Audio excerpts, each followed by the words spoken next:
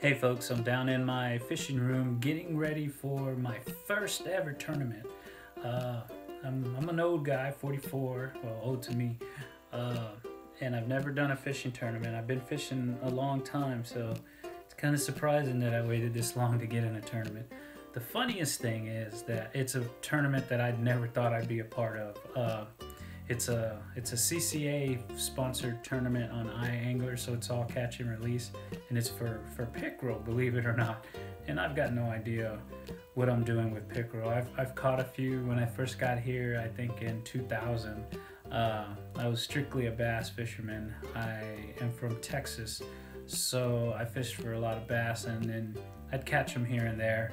Uh, they weren't my targeted species, so they were kind of annoying to be to be honest. But uh, I joined the CCA last year, I think, and uh, I just saw that they're having a tournament. It's catch and release. It's cheap entry fee.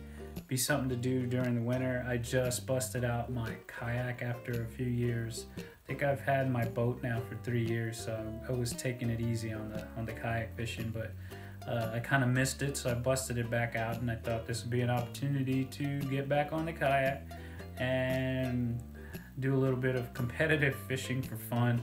Uh, although I don't know what I'm doing in pickerel fishing, uh, I got a lot of old bass gear that I'm gonna have to bust out. So that's what I'm gonna show you now, is the stuff that I pulled out of my bass gear, all older kind of stuff, and a few things out of my uh, my bay fishing stuff to try to do this tournament and hopefully I'll also get to film some of the actual fishing and catching to keep you guys up to date. If you're interested in joining the tournament, which I would encourage you guys to do because I guess it supports the CCA, uh, I will leave some information either in the description or I'll put maybe right now I'll put the flyer up. It's a three month long iAngler catch and release tournament.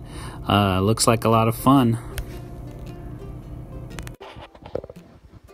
Have a lot of my old bass stuff kind of over here sitting in the corner collecting dust. So I dug some of it out and I'll show you that now. These are some of the things that I, I think I can use uh, during the tournament. So I'll let you take a look. The tournament is catch and release and one of the rules is no treble hooks. So I found a few of these. Like I have more than that amount, but I'm only going to rig up a couple at a time as I need them because I don't want to waste all my inline hooks for freshwater pickerel fishing. But uh, either way, here's two of them uh, that I've set up already with single hooks because again, they're they're not allowing you to use trebles. Uh, these are probably the first things I'm gonna try.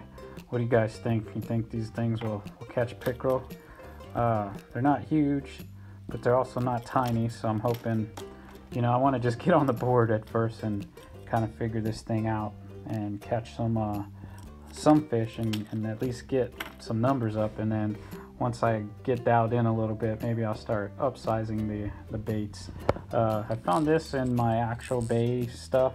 I use it in the creeks but it's it's yellow perch colored and uh, I heard that pickerel like yellow perch they eat them and uh, and that anything you use with those colors is, is pretty productive. But uh, it's a top water, so I don't even know if it'll work, you know, for winter fishing. Uh, but we'll give it a, a, go once in a while. Uh, this is the other lure. It's a rattle trap. So we're gonna give that a go. It's, a, it's an old one. I've had this forever, so getting to use all these old lures that I had laying around for bass. Uh, this guy I haven't changed the hooks yet, but I'm pretty sure I am going to again the whole theory the yellow perch thing but he's a little guy so I don't know if he'll catch only little fish but we'll, we'll give him a go. Uh, that's another lure this lure I'm debating uh, it's a Rapala you know they're really nice but it's so light I don't know how far I'm gonna be able to cast it if it's windy or whatever so uh, still debating this one but I probably will end up changing the hooks on that one and giving that one a go. I've got this deep diver just in case you know I'm I'm reading and looking on the internet and told that these fish like the cold water and unlike you know bass and the rest of the fish in the lakes they don't really uh, push off the shallows in the wintertime they kind of enjoy it so I have to do more research but just in case they're running a little deeper I got this guy to to to run deep.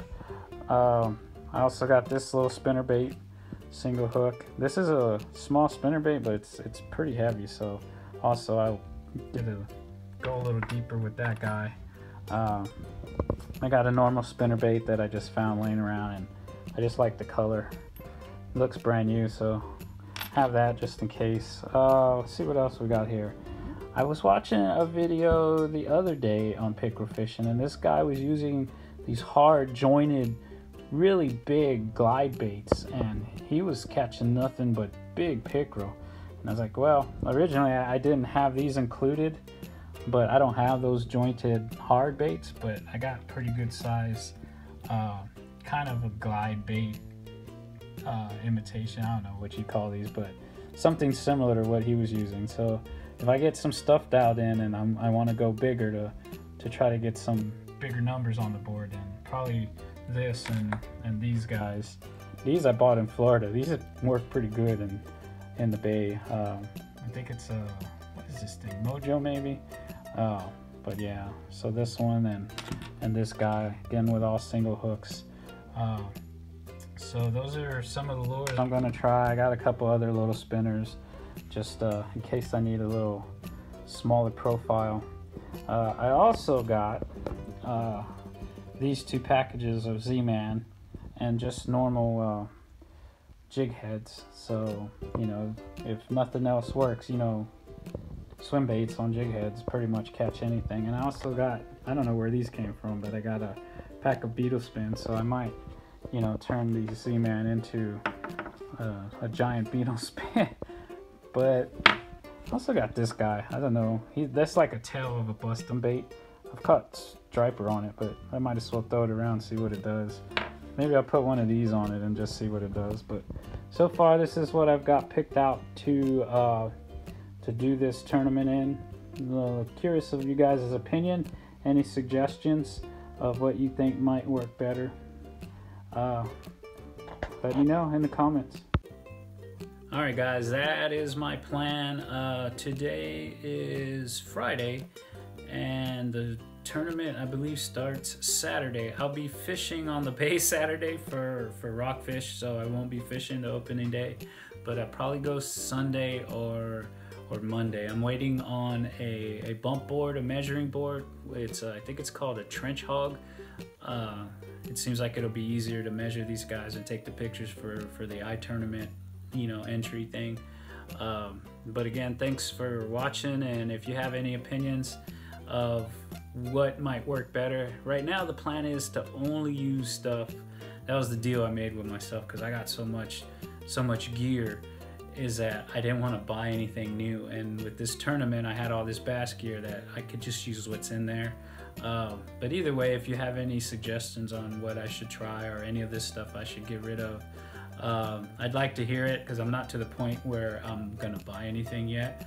But uh, I think if I start getting my butt whooped, uh, I might start spending a little money. But I also got a bunch of bass gear in there, so I might have what you suggest already. Uh, but either way, I'd be curious to to hear what your opinions are and any professional pickerel guys out there. Uh, let me know what you think. And again, thanks for watching. Uh, please like my page on Facebook, uh, MIGES Fishing. Uh, I get a lot of people on there, and, and it's a lot of fun to, to learn from people and meet. And I met a bunch of good friends off of that page and fish with them. So uh, I like sharing the information and I like learning most of all. And uh, thanks again, and like my page. Bye.